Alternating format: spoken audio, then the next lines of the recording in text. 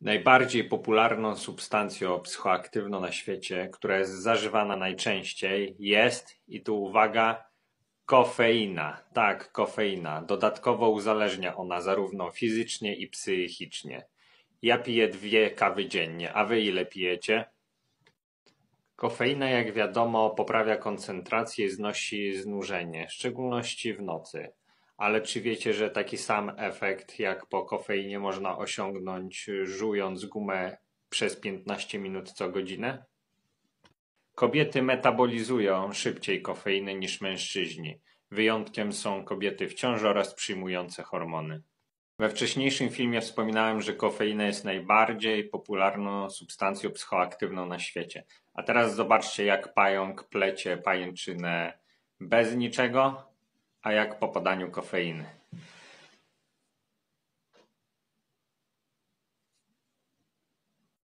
Najbardziej szkodliwymi dla człowieka substancjami psychoaktywnymi są kokaina w postaci kraku, heroina, metamfetamina oraz alkohol.